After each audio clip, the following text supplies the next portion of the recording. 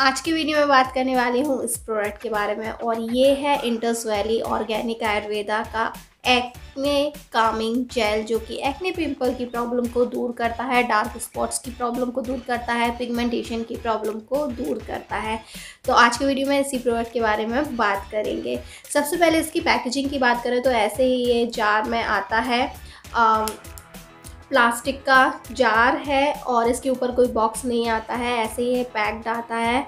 ये 50 एम का पैक है और इसका प्राइस वन सिक्सटी है। ऑनलाइन इजीली अवेलेबल है, आप इसको अमेज़ोन से फ्लिपकार्ट से परचेज़ कर सकते हैं। और क्वांटिटी की बात करें तो 50 एम का ये पैक है। ऑनलाइन बहुत अच्छे अच्छे आपको डिस्काउंट्स इस पर मिल जाएँगे।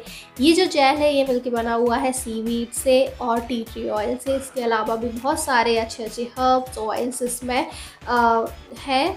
और सीवीड जो होता है, वो स्किन को बहुत अच्छे से मॉइस्चराइज करता है और स्किन रिलेटेड काफ़ी सारे जो इरिटेशंस हैं, उनको दूर करता है। और टी ट्री ऑयल के बारे में तो आप सभी को पता होगा कि मार्केट में जितने भी प्रोडक्ट्स हैं, जो भी एक्ने पिंपल की प्रॉब्लम को दूर करते हैं, उनमें टी ट्री ऑयल होता ही होता है, क्योंकि टी ट्री ऑयल इतने अच्छे से स्किन से एक्ने पिंपल को ट्रीट करता है। तो ये बहुत अच्छी अच्छी चीज़ों से मिल के बना हुआ है। साथ ही साथ पैराबिन फ्री है। सारे स्किन टाइप्स वालों को सूट करता है। पर जिनकी एक्ने प्रोन स्किन है या जिनकी ऑयली स्किन है, उनकी स्किन पर बहुत अच्छा काम करता है। पर अगर आपकी ड्राई स्किन है और ड्राई स्किन पर भी एक्ने पिंपल की प्रॉब्लम हो जाती है तो वो लोग भी इसको यूज़ कर सकते हैं क्योंकि स्किन से एक्ने पिम्पल को दूर करेगा ही करेगा। साथ ही साथ ड्राइनेस को भी दूर करता है। ऑयल को भी बैलेंस करता है। तो ये ये एक ऐसी जेल है जो सारे स्किन टाइप्स वालों को बहुत अच्छे से सूट करती है। इसके इंग्रेडिएंट्स की बात करूँ तो ये मिल के बना हुआ है सीवीड एक्सट्रैक्ट से। बहुत सारे प्लांट्स के एक्सट्रैक्ट भी इसमें हैं। और टीट्री ऑयल है ससमे ऑयल है आमंड ऑयल है निरोली ऑयल है ग्रेप सीड ऑयल है। तो ये ऐसी ऐसी चीज़ों से मिल के बना हुआ है जो स्किन को हेल्दी रखने में बहुत ज़्यादा बेनिफिशियल होती हैं। अब बात करते हैं कि ये प्रोडक्ट क्लेम क्या क्या करता है। तो ये एक्ने पिंपल की प्रॉब्लम को दूर करता है। कुछ लोगों के स्किन पे ऐसे पिंपल्स हो जाते हैं जो काफ़ी, जिनमें काफ़ी पेन होता है या फिर काफ़ी ईचिंग होती है तो ऐसे स्किन वाले जब इसको लगाते हैं तो उनकी ईचिंग को दूर करता है पेन को काफ़ी हद तक कम करता है।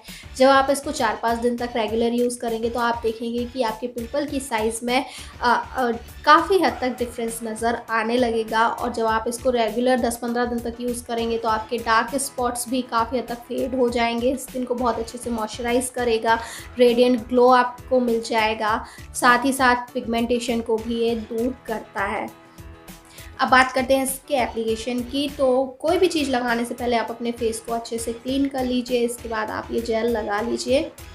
आप इसकी एक मोटी सी लेयर अपने स्किन पे लगा लीजिए, एक दो मिनट रहने दीजिए, फिर हल्के हाथों से मसाज कीजिए जिससे कि ये जेल अच्छे से आपके स्किन पे एब्जॉर्ब हो जाए। और दिन में लगाते हैं तो उसके बाद सनस्क्रीन लगाना बिल्कुल भी मत भूलिए। सनस्क्रीन लगाना बहुत ज़्यादा ज़रूरी है।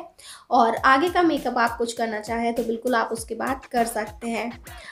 रात में आप इसको एज अ नाइट क्रीम लगा सकते हैं, मॉइस्चराइज़र के जैसे आप इसको लगा सकते हैं। अगर आप कोई facial oils essential oil serum use करते हैं तो वैसे ही आप अपना रूटीन रखिए।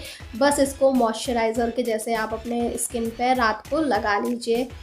इस जेल के टेक्सचर की बात करें तो ये ऐसा जेल बेस्ड है लाइट ग्रीन कलर का है और फ्रेगरेंस इसकी काफ़ी तेज़ है, जो कि मुझे बिल्कुल पसंद नहीं आई। पर लगाने के बाद थोड़ी देर में ये गायब हो जाएगी, पर ऐसे आप स्मेल करेंगे तो काफ़ी तेज़ लगती है।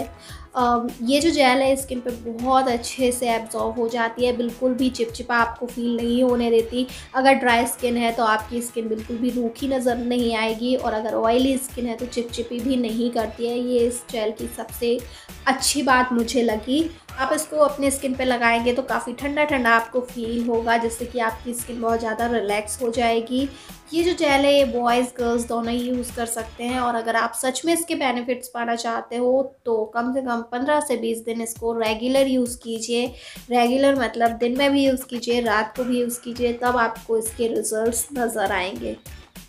करते मेरा एक्सपीरियंस कैसा रहा? तो जब मैंने इसको लगाना शुरू किया तो दो तीन दिन तक कुछ भी फ़र्क नज़र नहीं आया, बस स्किन को ये जेल अच्छे से मॉइस्चराइज़ कर रहा था, अच्छे से हाइड्रेट कर रहा था।